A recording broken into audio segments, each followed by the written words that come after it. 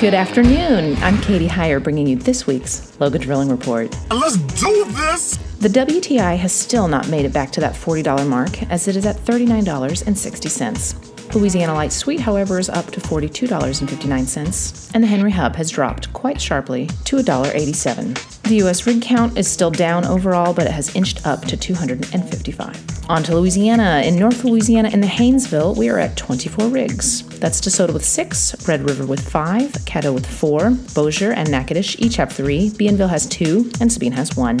And with one rig on the Monroe side in Jackson Parish, we have 25 rigs in North Louisiana. There are still zero rigs in the Austin Chalk and South Louisiana land, but we do have one in South Louisiana inland waters. We don't have any in state offshore waters, but in federal waters, we are still at 12. Louisiana is up one to 38 rigs this week.